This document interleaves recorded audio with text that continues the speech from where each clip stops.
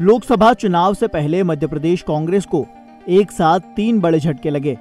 कांग्रेस नेता सुरेश पचौरी, धार से पूर्व सांसद गजेंद्र सिंह राजू खेड़ी और इंदौर एक से पूर्व विधायक संजय शुक्ला ने बीजेपी ज्वाइन कर ली।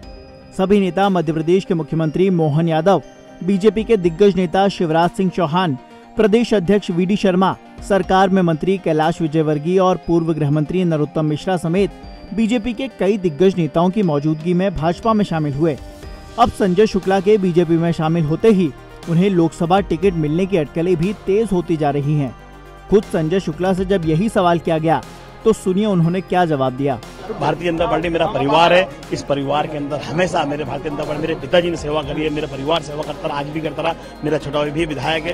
तो हम उस पार्टी में आए जो मेरा परिवार है मैं जो पहले यहाँ से भटक गया था उसी परिवार में वापस आए क्या कोई बातचीत भी हुई है कि कोई पद को लेकर के विधायक का टिकट दिया जाए हमारी कोई बात नहीं हुई। हम सिर्फ़ चाहते हैं भारतीय जनता पार्टी सेवा करना। क्योंकि भारतीय जनता पार्टी ऐसी है वो गरीब हो या अमीर हो या देश की सेवा करती है प्रदेश की सेवा करती है विकास की बात करती है इसलिए हम उस पार्टी को वापस कैलाश बजारी की आपको आशीर्वाद दिया है सर। आप उनके चुनाव विरोध में चुनाव लड़े थे।